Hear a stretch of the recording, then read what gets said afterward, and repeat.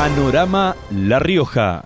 Junto al ministro de Infraestructura Néstor Bossetti, el gobernador entregó la manzana 1358 del programa Techo Digno 2 y dio comienzo así a la semana en la que se entregarán 26 viviendas por día.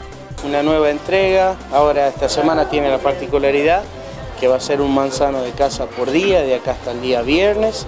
Y bueno, obviamente para nosotros siempre lo decimos importante compartir este momento acá con la mamá, con la dueña del hogar y ver esta transformación ¿no? de obra a hogar. Eh, realmente entregar eh, una manzana por día ahora y estas viviendas tan lindas.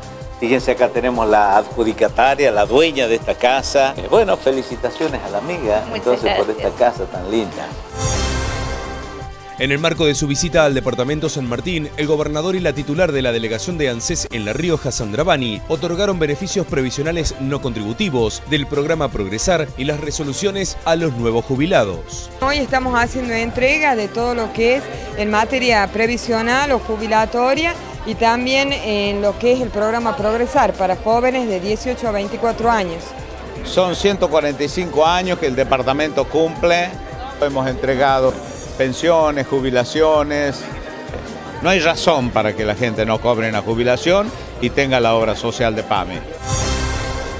En la zona de la avenida Circunvalación de la ciudad capital, integrantes de la Fundación Ideas realizan trabajos de limpieza, pintura y arreglo de luminarias. Que se está limpiando desde lo que es San Nicolás hasta las Padercitas y lo que se pide realmente que no se tire tanta basura porque lo están ese, permanentemente, ya que se está disfrutando el fin de semana que vemos tantos vehículos como ser a la tarde, a la noche, realmente que lo cuide, que lo protejan y traten de no tirar tanta basura como lo están haciendo.